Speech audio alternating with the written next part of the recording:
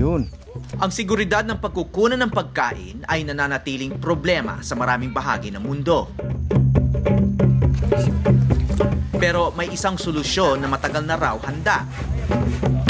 Mabuti sa kalikasan, ligtas at masustansya pa. Pero hindi nga lang katanggap-tanggap sa marami. Hindi kasi kaaya-aya sa mata kung ang ulam mo, insekto.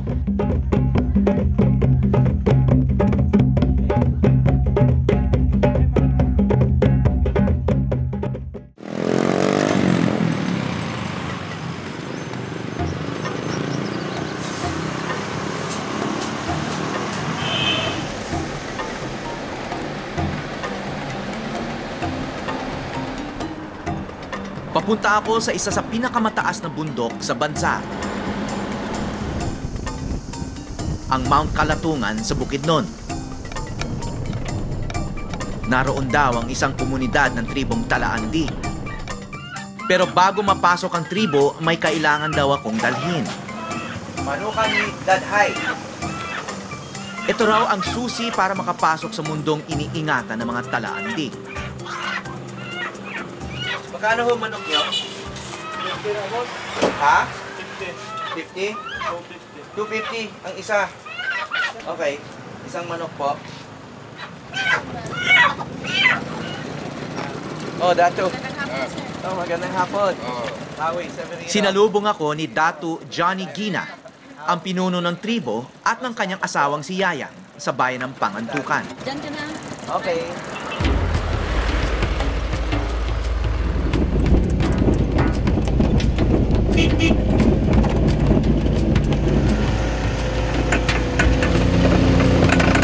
Four by four ang kailangan para makapunta sa barangay Port Tulin sa paanan ng Mount Kalatungan kung saan sila nakatira. Ayon kay Datu, may iba't ibang bahagi ang bundok at lahat ng gustong pasukin ng kagubatan nito kailangang dumaan sa kanya. Hindi na yan nagagalaw kasi ang tribo na yun ang nag, ano, na hindi na ipagalaw. Kami na po ang nagpoprotekta dun sa kuan, area. Paano nyo nalalaman kung may pumapasok dyan o hindi? Ah, Ang laki-laking lugar. Mayroon kaming mga Bantay? bantaylasan.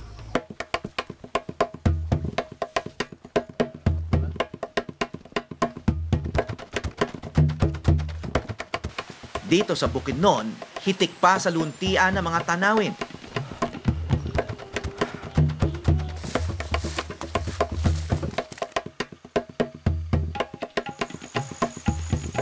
Dahil sa mga katulad ni Dato Gina na matyagang binabantayan ang kapakanan nito.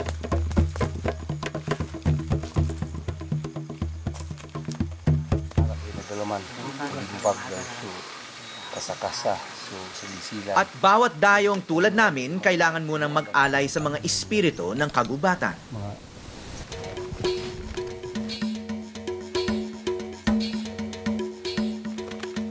sa amin, parang sagrado lang lahat eh, yan na ah, gubat.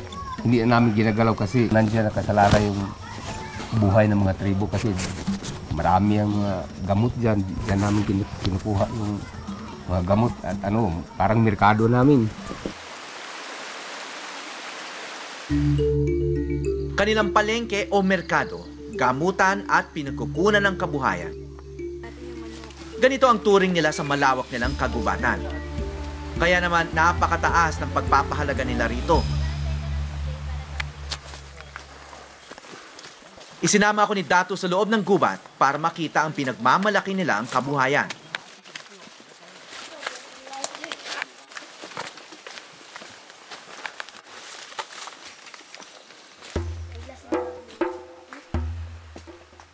Yung malakas, nandyan sa unahan. O, dito ako sa likod. Dahil Yung bitay rata diri taan sika sika ga diha.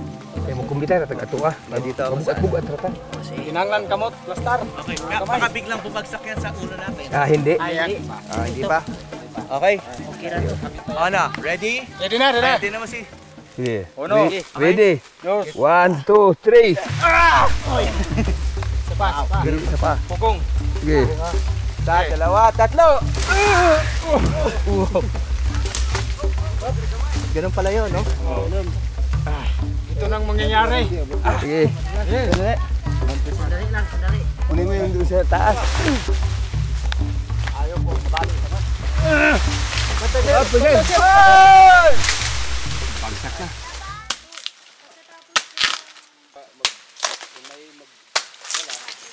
Kung hindi tanggalin ni Kuya itong mga sang ganito, ito yung mahahawakan namin. Aray! Itong sanga ng mga uway, itong ratan. May mga parang natural hooks. Mahirap din hilahin dahil matibay yung pagkakapit niya sa puno at saka ang haba. Hindi raw pwedeng isa dalawang tao lang yung mang maghila ng mga uway dito. Eh, uno, dos, tres.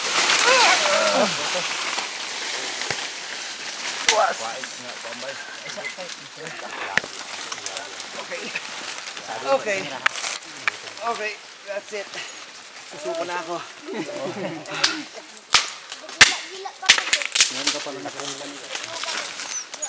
Ah.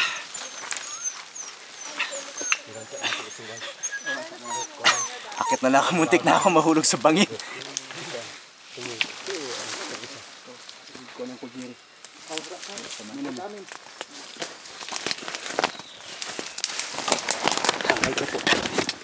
Wow! Dulas.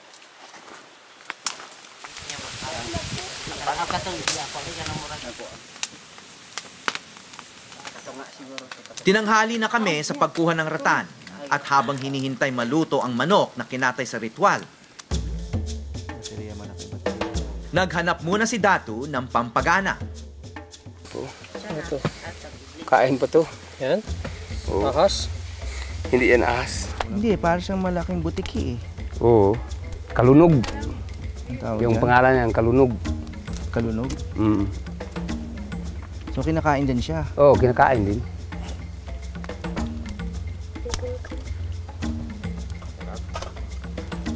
Parang isda na chicharon na Oo. hindi mo maintindihan eh. Siyang chicharon. Karaniwan lang sa mga talaandig ang pagkain ng iba't ibang uri ng hayop, kabilang na ang mga insekto. Yun oh, meron pa oh. Tinan mo, tinan mo, may kita mo. May gumagapang sa loob. Anong tawag dyan? Hindi ba sigaran din yan? Ipis. Hindi. Ay, pamaghapon. Mukha siyang ipis eh. Sa tuwing sila'y magtatrabaho sa kanilang mga taniman, isinasama nila ang mga nahuhuling insekto sa kanilang tanghalian sa bundok. Ano siya? Eh, itlog talaga? Itlog. Itlog talaga Lang, yan. langgam. Oo. Patikim nga.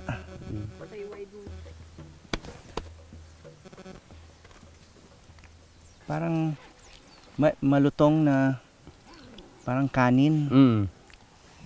May- Pero may may konting tamis. Mm. May kunting tamis siya. Konting tamis na malutong.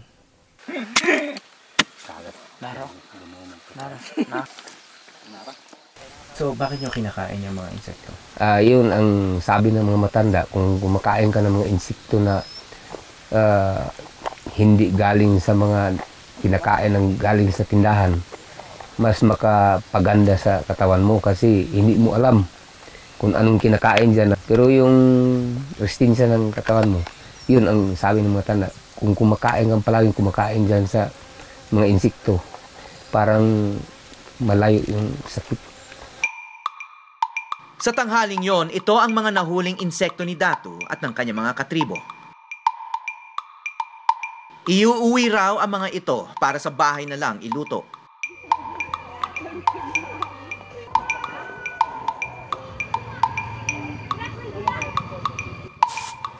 Dating minero si Datu sa bundok na ito. Pero nagbago raw ang kanyang pananaw. yun ang sinabi na kung magpatuloy yan, mauubos. Sigurado, o, ang mga apo ninyo at mga anak, kayo ang sisihin sa ulihin mga araw. Kasi naubos yan sa pag hindi mo hindi kayo nag ano nag tulong-tulungan na para ma maligtas yung mga kalikasan dyan na yung mga punong kahoy ng mga malaki.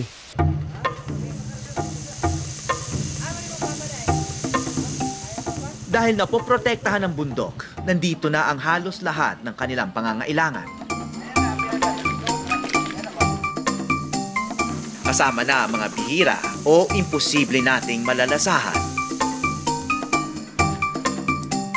Sa syudad. Kinagabihan na lamang kung hindi lang pala sa loob ng kagubatan maaring kumuha ng insektong lamang tiyan.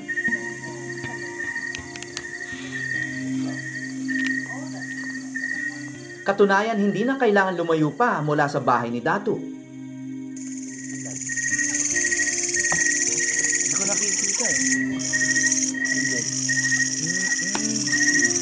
Ayun, ang laki. Ano yan, natutulog lang? Oh, pa- parang So, madaling hulihin. oh, maghanap ng pagkain niya. Ganun lang yan? Uh, huli. Anong tawag nyo dyan? Sa gilsilan. Sa gilsilan. Oo. Ano yan? Malaki, malaking Oh, Piraso ba to? O- malaki. di, anong kinakain ng tao rito? Ay, yung dito na. Yung Yan. Lahat, lahat na yan. Lahat. O, yung pak, Pati yung pakpak. Yung pakpak, eh, alis lang. Yung ulo. Ah, lahat na. Ang mga nakuha naming insekto rito naiiba sa mga nahuli namin sa gubat. Oh, iba naman to. Ayun. Kulimbag yan. Kulay berde. Nakakamuflage pa. Huli. Ayun, laki oh. Pagganda. Ang ganda ng kulay. Anong tawag dyan? Kulimbag. Kulimbag. Kulimbag. Okay, ano naman ang luto dyan? Pareho lang. Oo, pares-pareho. Parang inaadobo lang sila. Ay, adobo, ihaw. Okay. Oh, yan, may may, ul- may ulam na tayo para sa para mamaya.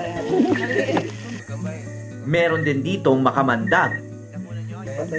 Ang spider hindi kinakain yan. Eh, parang makapatay sa kalabaw. Magagat yung kalabaw. Kaya yung tao. Ah, ganun din. Ha? May kamandag yan? Oo, may kamandag yan. Ay, huwag tayong lumapit dyan. Nakita kong napakalawak ng kaalaman ng mga talaandig sa kanilang kapaligiran. Mga kaalamang hinubog ng panahon at pinagpasa-pasa mula sa mga henerasyon.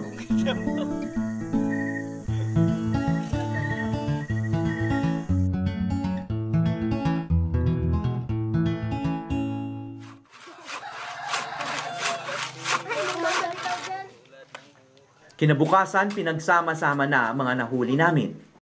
So, anong gagawin nyo ngayon, Datu? Oh, buhay, buhay yan. Hindi yan pwede na iluto natin na buhay. Mm.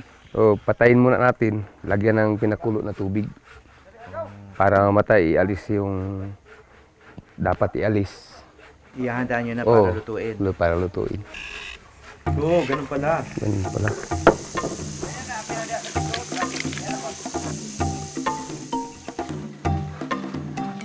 Dami, iba-iba oh. Yung mga ulo kinakain. Oh, pwede sana kakainin pero ialis lang yung kanya parang ano. Oh,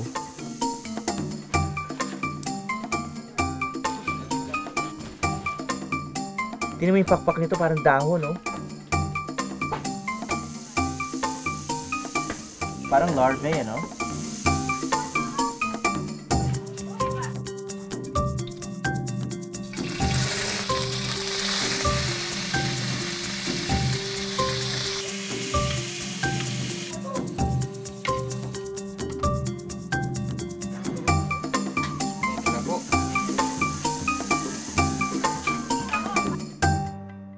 Pagkaluto, mukha ng hipon ang ibang insekto.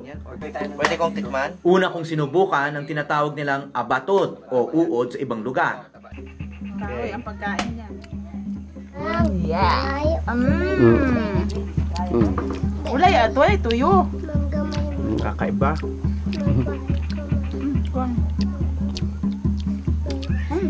Mataba. Mm. Ngayon ko lang na-experience ang lasang ganito. Eh. Hindi siya masama, masarap. Mataba. Parang,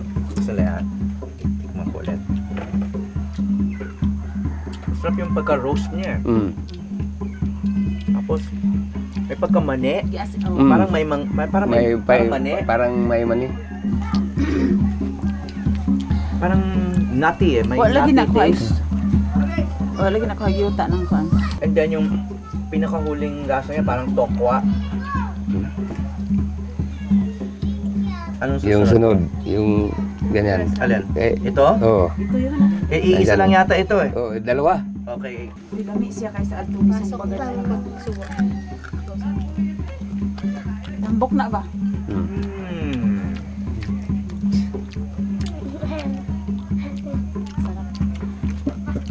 Malinamnam. At ang kinuha mula sa nabubulok na kahoy, ang tiganga, isang uri ng salagubang. Mukha siyang alien. Kailangan asin. Oo. Iba naman ang lasa nito. Iba. Parang mas mataba, ba- parang baboy. Hmm, parang baboy. Parang swabing-swabing Mm. lempo. Parang Taba. inihaw na baboy. Pero mas masarap pa Mm. sa baboy. Ito? Ayun lang malaki. Ito? Anong tawag dito? Anim na uri ng insekto sa isang kainan lang. Bagay na karaniwan na para sa mga tulad ni Datu. Parang may sumabog sa loob ng bibig ko na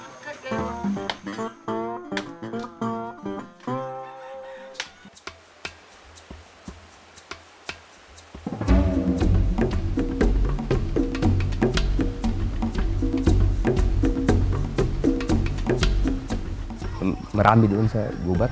Parang palingki yan. Kung gusto kang kumakain ng priskong-priskong mga hayop yan sa gubat, marami pa.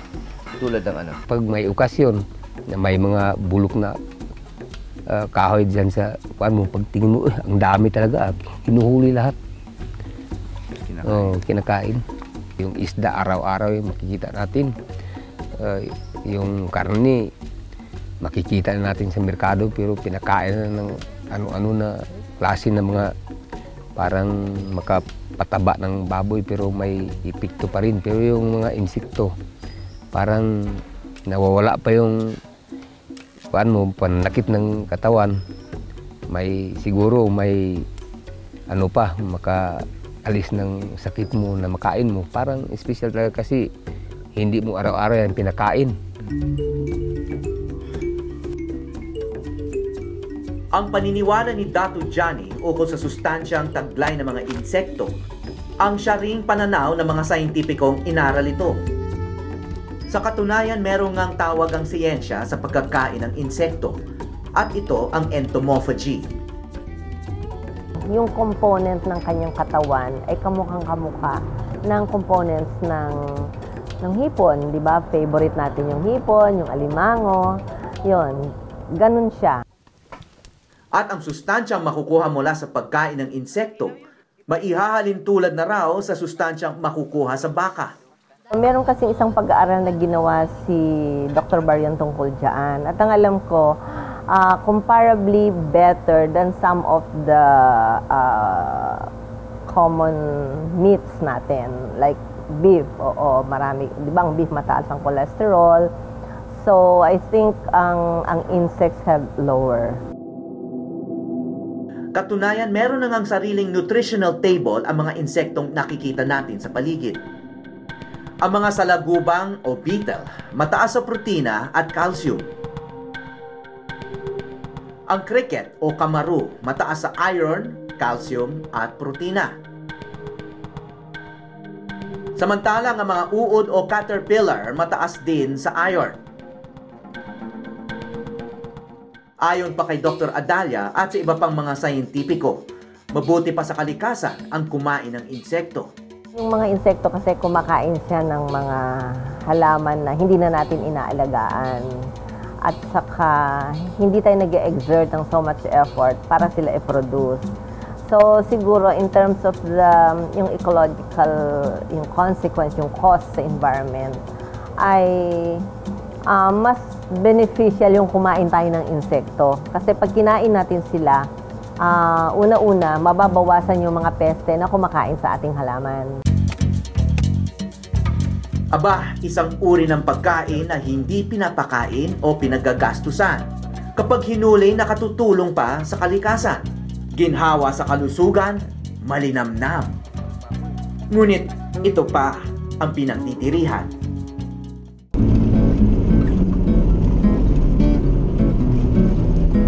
Hindi lang sa mga bundok ng bukid noon kumukuha ng insekto para kainin. Dito sa mga bukirin ng Pampanga sa Luzon, may isang insektong kilala na sa pandinig pa lang. Ang kamaru o mole cricket. Tuwing kalagitnaan ng Hulyo dumarami ang kamaru.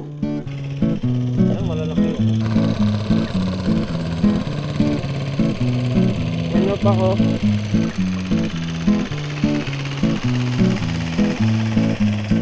Pero para sa mga maagang nagpapatubig ng bukirin, meron ng ilan na nangunguha nito. Ang by July or end of July, marami yan yan. Kahit minsan, sampung batya, nakakabili yan.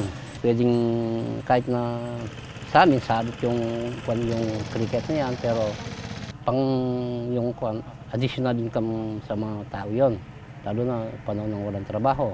Dati yung mga tao, ang nangunguha yan, uulamin lang nila kakainin. Dito, ibubuhos ko dito yan para linisin dito. Ilalagay ko ganyan. Ang mga nakukuhang kamaru na mga tulad ni Mang Arsenio, binibenta kina SP ng 30 pesos kada baso. Hanggang sa luminaw na yung tubig, wala na putik no. Tapos, hihimayan ko na yung hihimayan ko na yung damo. Si SP naman ang naglilinis ng mga ito. Ayan. Sa kanya pinapakuluan bago ibenta muli. Pag in season, pinakamababa na yung dalawang daang baso yung nabibili ko maghapon. Pinakamababa yun. Pag talaga season na yun, marami yan na talaga noon. Oo. O, so, sa kinikitang yon 5 pesos ang tubo ko sa isang baso, divide mo sa 200, ano, mayroon din, isang, isang libo, ganon. Kikitain mo.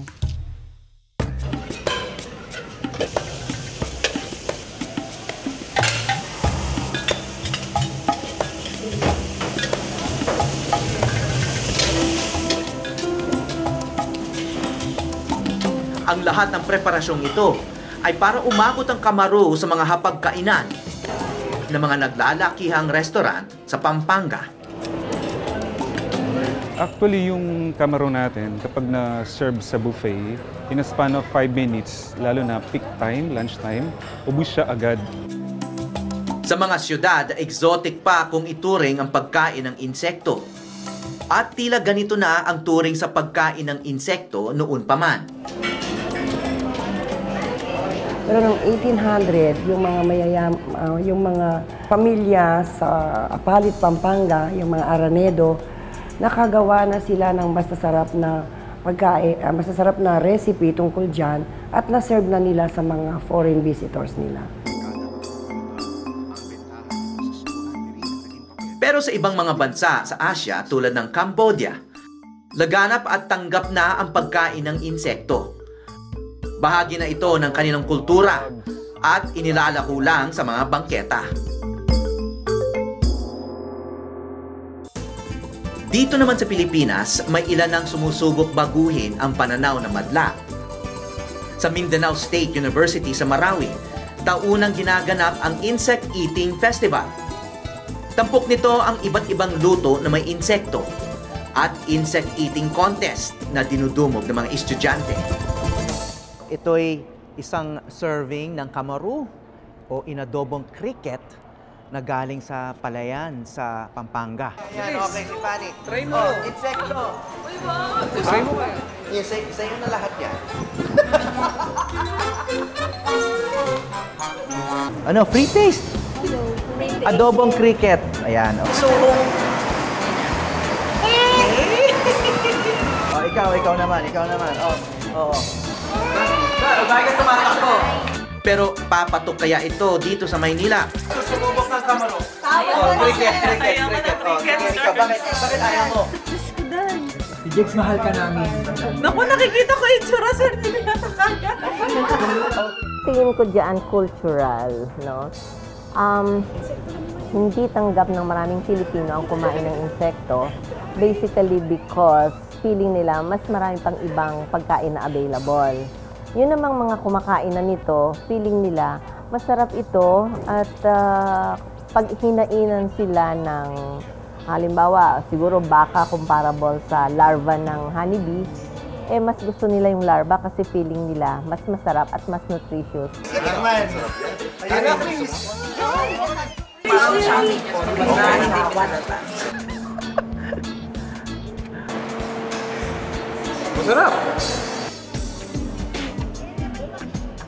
Meron namang matagal ng bukas ang bibig sa mga kakaiba.